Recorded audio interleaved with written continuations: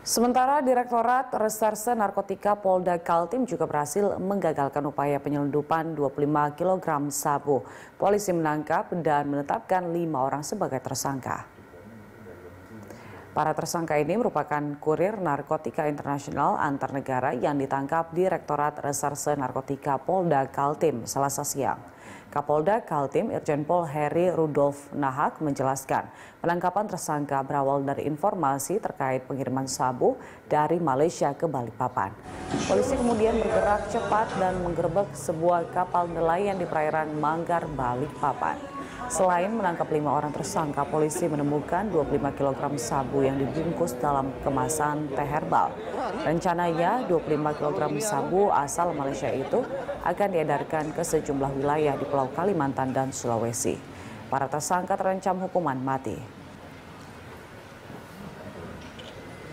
Pada tanggal 8 Mei yang lalu, nanti tiga hari yang lalu, telah melakukan terhadap jaringan pengedar narkoba jaringan pengedar narkoba dengan bukti sejumlah 25 kg. Kenapa saya menganggap ini berita yang penting buat kita? Karena